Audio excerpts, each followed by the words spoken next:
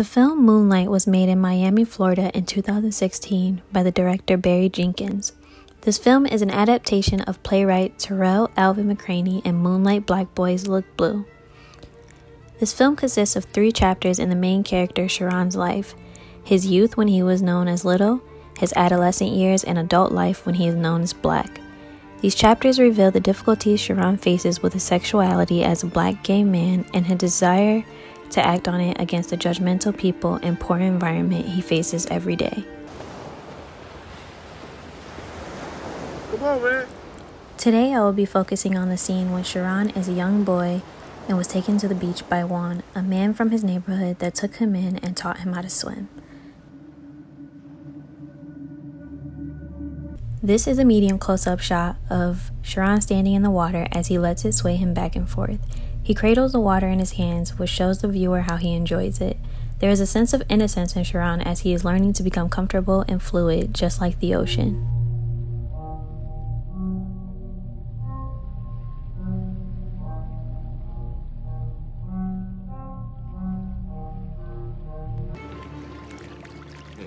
Let your head rest in my hand. Relax. The light is at its brightest as it casts down on Chiron and Juan.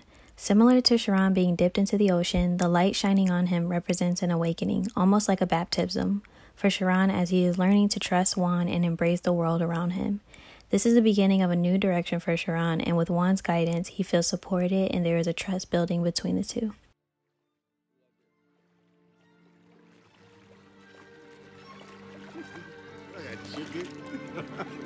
More athletic. There you go. There you go. Think you're ready. think we got a swimmer. You wanna try? You ready to swim? Montage is a sequence of events as Chiron learns how to swim on his own without Juan's help.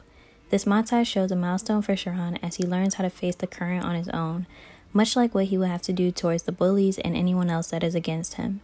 There is a sense of freedom as the viewer sees Chiron's small body submerging from the water. This foreshadows how how Chiron is capable of adapting no matter what, but with that comes his silence.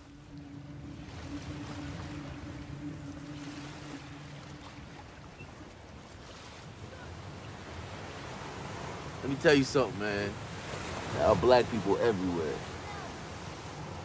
Remember that, okay? No place you can go in the world ain't got no black people. We was the first on this planet. The dialogue coming from Juan is crucial for Chiron as he explains to him that there are more black men like him in this world, and black boys like him are special.